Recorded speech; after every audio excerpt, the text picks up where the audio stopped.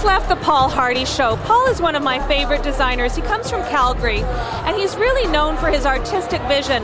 This season, though, he did some great tops and skirts, but he really left me wanting more.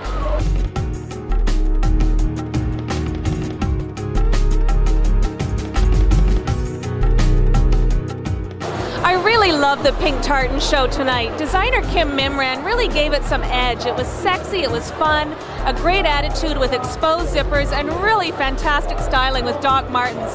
I thought it was really one of the best shows she's done here at L'Oreal Fashion Week. That's a wrap. Thank you for joining me at another great week at L'Oreal Fashion Week in Toronto, and we'll see you in the fall for more amazing shows.